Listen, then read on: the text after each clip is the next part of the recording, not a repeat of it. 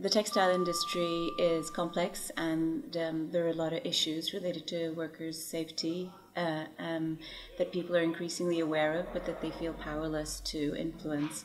And speaking to Norwegian designers and designers internationally, I learned that a lot of them are working hard to ensure that their um, their work is done and their products are made under decent conditions. But a lot of this information doesn't come out to the consumers. And so, what I wanted to do was create a digital platform where consumers can be connected to the makers of their clothing. Now, my vision is that clothing brands are going to be transparent about where they produce and how they produce, and that I can uh, buy a pair of jeans um, knowing that um, that the person who made them uh, did it under decent conditions.